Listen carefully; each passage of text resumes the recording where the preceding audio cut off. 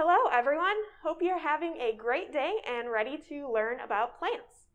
Just to introduce you to what we're going to be doing during this lab, some of the stations, like stations 1 through 3, you're going to be answering questions based on the provided information.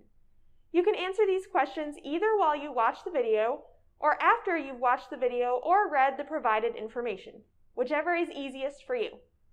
At other stations, like stations 4 through 10, you're going to be drawing or sketching a provided specimen.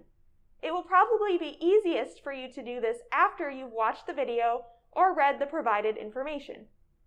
The last two stations, you're going to be recording data and answering some questions. You'll want to record the data while you watch the video and answer the questions after the video has ended. To start off this lab, we're going to be talking about plant taxonomy. Taxonomy is arranging organisms into groups based on their similarities or differences. Biologists generally categorize organisms into five kingdoms Monera, Protista, Fungi, Plantae, and Animalia. These kingdoms are then further divided into large groups called phyla. Scientific classification or taxonomy typically has two main goals to arrange organisms so they're easy to refer to, and to arrange organisms to demonstrate their relationship to each other. You may be wondering why taxonomic information is important. First, it has predictive value. If two plants are related, they may offer the same resources. For example, an anti-cancer drug was extracted from the plant Maytenus buchananii in Kenya. However, the population of that plant was very small. It was predicted that Maytenus rothiana in India would offer the same compound, and it did. Taxonomic information also increases our understanding of biology and evolution and provides us with a method of cataloging. In addition, it can lead to human social impact. Taxonomic information shows us that each species is unique and thus irreplaceable. This should motivate us to pursue conservation. Lastly, taxonomic information has practical value. If we know how plants are related to each other, we can more easily determine what's edible, poisonous, medicinal, and more.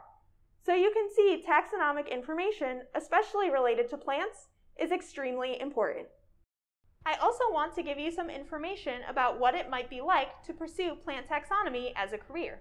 So I reached out to one of the plant taxonomists at UC Davis, Dr. Daniel Potter. He both studies and teaches plant taxonomy.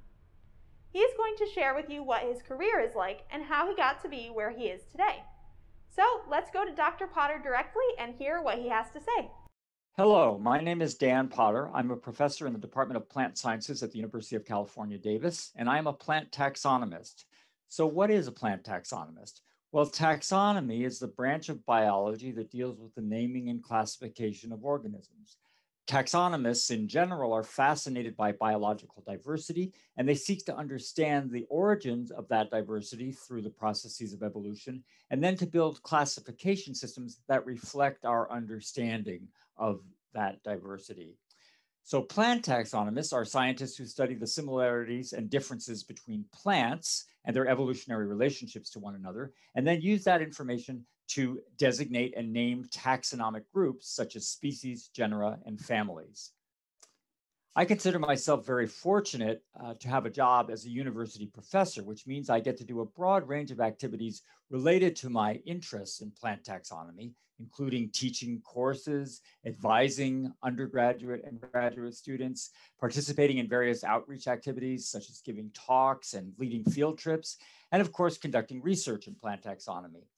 And a great thing about research in plant taxonomy is that it too includes a broad range of activities, including field trips to interesting and beautiful, sometimes exotic places to observe plants in their native habitats and make collections of them.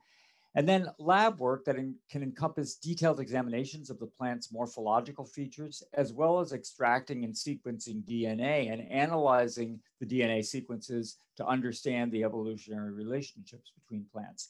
And then uh, plant taxonomic research also includes a component of examining collections of plant specimens that other botanists have made over the years, sometimes very old uh, specimens that can be decades or even centuries old. A variety of factors contributed to my choosing a career in plant taxonomy. I grew up in a rural area of New York State in a, lovely home surrounded by forests and fields.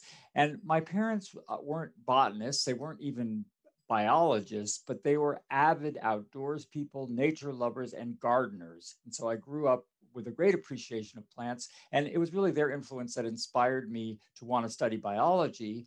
And then that was reinforced by some excellent teachers in elementary and high school.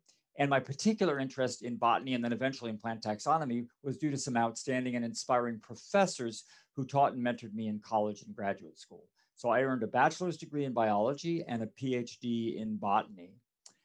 My favorite part of being a plant taxonomist is also what I think of as perhaps the most basic aspect of being a plant taxonomist, which is the experience of getting to know a new plant species.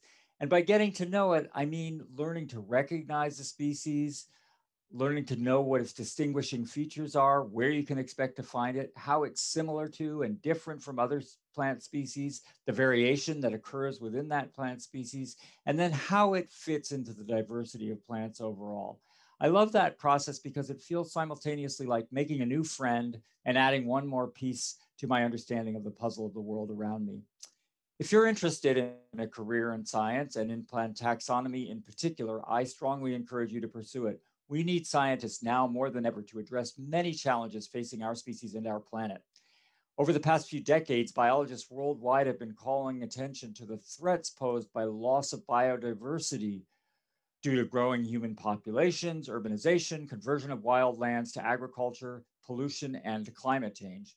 And those losses affect all kinds of organisms, including, of course, plants. And plants, we all know, are so crucial to our well being and that of all other species on the planet. So plant taxonomists have a key role to play in addressing that concern about loss of biodiversity by advancing our understanding of the diversity around us, past, present, and future, documenting it, and creating these classification systems that help us communicate about it. So it's a really varied, fascinating, and fun career, and it's important. If you have any questions, please don't hesitate to contact me anytime. Thank you so much for your attention.